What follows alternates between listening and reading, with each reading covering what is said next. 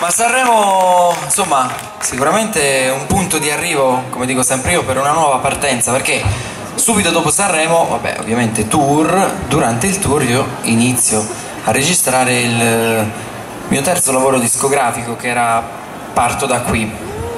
Parto da qui era un disco, è stato un disco oltretutto certificato oro. E, iniziava ad avere un respiro più internazionale rispetto ai, ai dischi precedenti e io direi di fare un mash-up dei, dei, di alcuni brani di questo, di questo disco che poi sono i brani insomma, più conosciuti. Musica, ci siamo?